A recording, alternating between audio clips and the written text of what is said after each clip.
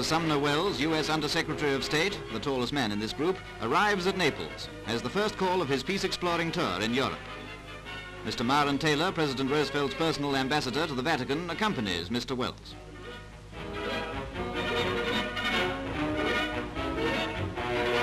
On arrival in Rome, Mr. Welles meets Count Ciano, Italian foreign minister, prior to visiting Signor Mussolini.